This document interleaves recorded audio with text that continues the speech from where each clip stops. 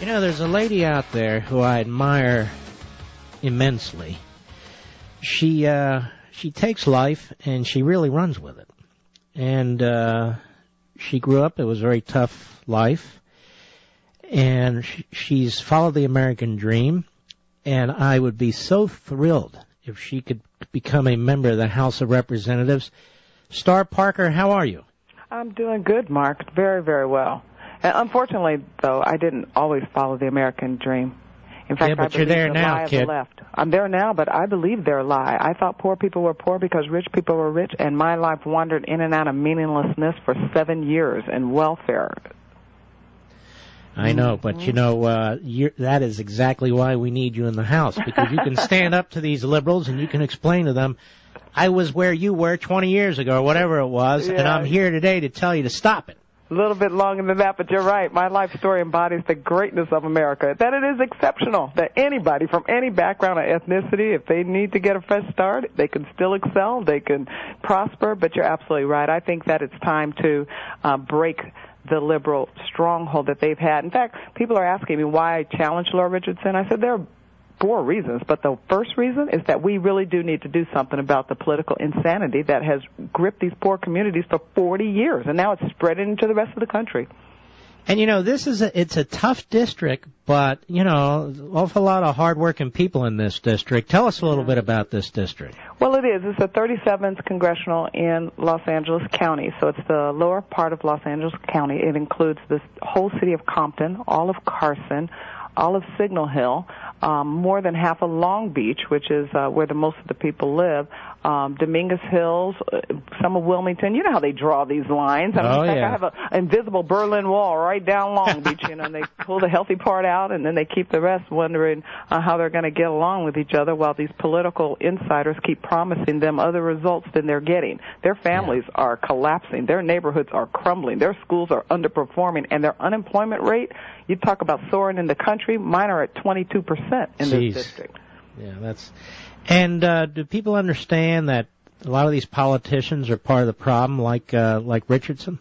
I think they're beginning to understand it. She's left a real distaste in the mouth of many of the voters, and especially those that are uh, losing their homes because they didn't know a bank lobbyist to call and get her house back when it fell into foreclosure. Now let me stop you right there. She has been, in fact, in ethics trouble for every every since she walked into the House of Representatives, hasn't she? Well, yeah, she was. It seemed like she was a race to the bottom because the first year she got there, she's only been there three years, and the first two years she certainly did make the um, the list of the most corrupt uh, because she's been a political insider and climber for an awful long time, uh, ten years total. But she did move in one year from city council to assembly, from assembly to Congress, so she had to step on a lot of people and do a lot of things to get there.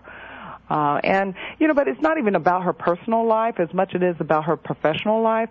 Laura Richardson is a boilerplate liberal, and if she continues to represent this district, she is still going to bring the same bankrupt big government ideas and moral relativism that has already destroyed every inner city in this country. So what this district needs is somebody willing to be honest with them about what it really takes to build prosperity for themselves and for their for their families and for their children. And they're resonating. I am making a lot of headway in this district, and it looks like we might have a a surprise on uh, November the second. Now, do you have enough money to run ads or to do whatever you need to do? Yeah, we are. When I first went to the NRCC and said, "What does it take to take on a district like this?" They said, "You need four things. You need a message." I said, "My life story is my message." They said, "Well, then you need management." So I went on hired good management. They said, "You need manpower." So I called my friends and they started rallying folks. And we have a lot of volunteers on the phone all the time and out in the streets. And they said, "You need money." And I said, "Well, how much?" They said, "1.2 million dollars." And then I found out all about the campaign finance laws. You know, this is my first time going inside. Yeah. So you start looking at all the science behind the art of uh, the, or shall I say, the business of politics. So I had to go knocking on doors, and yeah, we raised the 1.2 million. Uh, what we're looking for now is another 50, 60,000, so we can do some last-minute advertising. Because what my opponent Laura Richardson is now doing, she's like an alley cat in a corner. So she's starting to pull my life story apart and just throw little p- bits and pieces out there, uh, so that they, she can confuse voters. We are winning even in our harder hit neighborhoods. Uh, so I would like to do a couple more ads and a couple more mailers. Yeah. Well, folks, this is Star Parker. You've probably read her magnificent columns on Town Hall and other places. Uh, she is solid. She's a constitutionalist. Uh, she is living the American dream. Matter of fact, she's talking about the American dream all the time, trying to give people hope in a different direction, and I think we ought to try and help her. It's Star Parker, just like it sounds. StarParkerForCongress.com. StarParkerForCongress.com. I will put this on my website and on my social sites. Now, you know, the funny thing about uh, these liberal policies, they affect everybody. I don't care what color you are, how tall you are, what your sexual preference is, or any of the rest of it. And uh, they don't have a way out the left. They want to keep spending and taxing and therefore destroying jobs and pushing businesses out, right? And we have already seen the damage that these ideas do. And I think that that's why the American people are rallying saying we don't want this because we can look into any inner city and see where we're going as a country. You know, my district is already government dependent and the, our workers are union dependent. And the problem with these types of dependencies is that when the private sector collapses, the dependent get hit the hardest. So the tax revenues have stalled. So we're starting to see all of the cutbacks here. Our teachers are getting pink slips.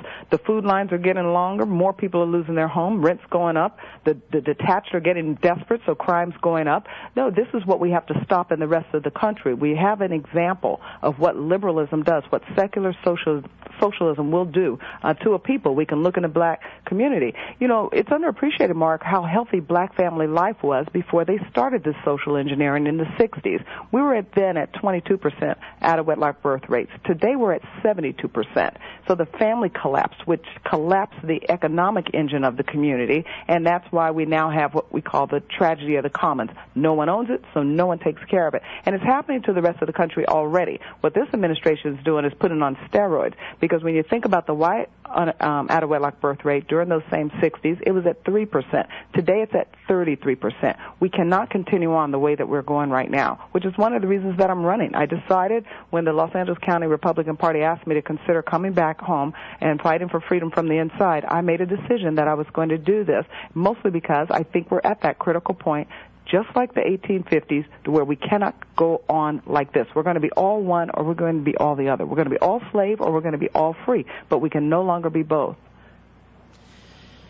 Wow. All I can say is you're one of the most articulate people I've ever had on this program. What do you think of that? Well, I think that you're going to get some phone calls from some of the others that are also my friends that uh, you've had on this program. Don't worry, I I know how to cut I've been working off. on this a long time. You know my story, and you know that I want to fight uh, for good quality leadership that will put the the brakes on these entitlement programs. We are bankrupt, and I have a grandson. I don't want this type of future for him. I've worked too hard, and yet when we look at officials like Laura Richardson, it's the same agenda that they've had for the last 50 years: more government. This is the answer liberals give us every single time that they're in charge. No, we need leaders in Washington who understand economics and that can use that understanding understanding to shape public policy so we can attract business investment and entrepreneurs. Well, I have a heart and passion for business. That's why I'm running. I not only have a degree in marketing and international business minor, but I've been an entrepreneur for 25 years. I still make payroll. And I had to remind Laura Richardson, I also pay my mortgages. You know, when you think about what has broken down in these communities, not just my own, which is hard hit, and I'm looking so forward to being the leader here so we can model some of my new ideas across the country and other inner cities. But what these districts have needed, every congressional black caucus district in this country, is somebody that really cares about them. You know, mm-hmm. blacks know things are not working well. You saw what happened when Bill Cosby talked about it. People rallied him. They wanted to hear more and they wanted to know what to do. It was the black left that shut him up. It was the black political establishment that quieted him down. So we have to take a hold of this and the wind is behind our sail this election cycle to at least try. I didn't want to wake up November 3rd and say, why didn't I at least not try?